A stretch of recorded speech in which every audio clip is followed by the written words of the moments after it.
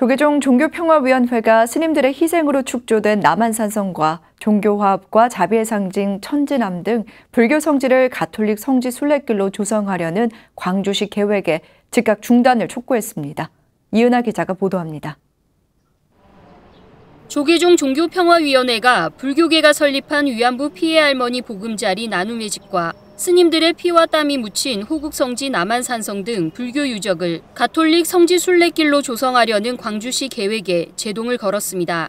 관광 활성화를 명분으로 종교 화합을 깨뜨리고 역사적 사실마저 축소하고 왜곡해 특정 종교의 성지로 편입시키는 종교 차별 행정을 하고 있다는 겁니다. 종교 화합이 대한민국 화합 아닙니까? 근데 그, 더 그런 부분을 조장해서 문제를 일으키고 있죠. 어? 주 종교 간에. 싸움을 붙이고 있는 거 한국입니다. 그래서 이거는 종교 화합 차원에서도 대문과 평화 차원에서도 이 사업은 장, 당장 중지되어야 한다.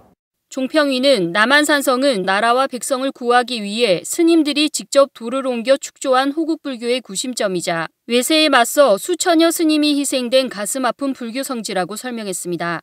특히 천지남은 천주학자를 보호하려다 수십여 스님이 처형되고 폐사된 희생과 자비의 공간으로 천주교 성지로 포장하려는 광주시에 불자들의 공분을 전했습니다. 이뿐 아니라 누구도 관심을 두지 않던 시절 위안부 피해 할머니의 보금자리로 불교계가 설립한 나눔의 집까지 천주교 성지로 알리려는 것은 광주시가 역사를 왜곡하고 종교를 차별하는 것이라고 항의했습니다. 카톨릭 성지 순례라고 하게 되면은 남한 산성도 카톨릭이고 천진암도 카톨릭 어? 성지고 나눔의 집도 카톨릭 성지라는 인식을 하게 됩니다. 그래서 이거는 역사에 멀지, 멀 상식한 지각으로부터 출발한다. 종평위는 종교 간 노력으로 화합과 공존을 이루고 있는 대한민국 종교계의 공공기관인 광주시가 본분을 망각하고 오히려 분쟁을 유발하고 있다고 지적했습니다. 종평위는 역사와 객관적 사실을 왜곡한 채 추진된 가톨릭 성지순례길 조성 배경과 경과를 설명하고 사과와 즉각적인 사업 취소를 촉구했습니다. 중앙종회랑 상의를 해서 강력하게 이것이 우리가 요구가 반영될 수 있도록 꾸준히 노력하고 지속할 계획입니다.